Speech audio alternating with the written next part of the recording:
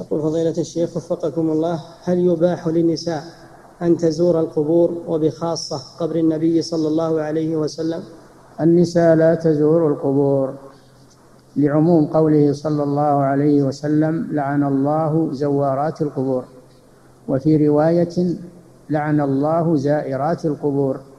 وهذا يشمل كل القبور قبر النبي صلى الله عليه وسلم وغيره. لا يجوز للمرأة أن تزور القبور.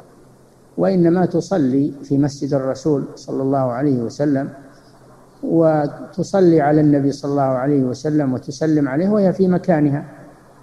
تصلي وتسلم عليه وهي في مكانها. نعم.